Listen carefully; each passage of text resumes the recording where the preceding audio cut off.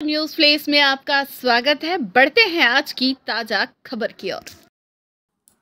श्री योग वेदांत सेवा समिति आबू रोड द्वारा पूज्य बापू जी के सतासीवे अवतरण पर अंबाजी मंदिर बस स्टैंड के पास प्रातः नौ बजे से निशुल्क शरबत वितरण कार्यक्रम किया गया, जिसमें करीब 3500 लोगों द्वारा लाभ लिया गया, जिसमें समिति से सहयोग किया गया।